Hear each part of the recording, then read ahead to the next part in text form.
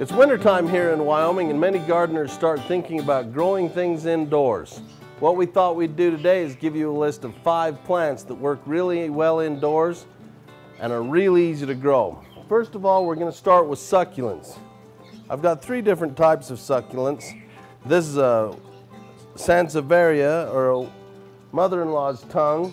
It works great where you need a tall, straight plant. In this pot, we have an example of both a jade plant and an aloe vera plant. Aloe vera plants are my personal favorites. You might even try something as simple as a cactus. Succulents work great where there's full sun and you don't need a lot of water. Our number two would be a spider plant. Boy, you've seen these all over and the reason is because they're really easy to grow.